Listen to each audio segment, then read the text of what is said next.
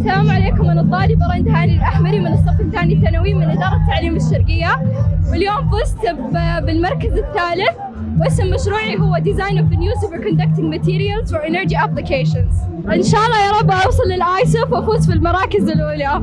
دي لأهلي أكبر داعم لي وأشكر آه، المشرف دكتور ياسين سليماني. وأشكر برضو موهبة على دعمهم لنا.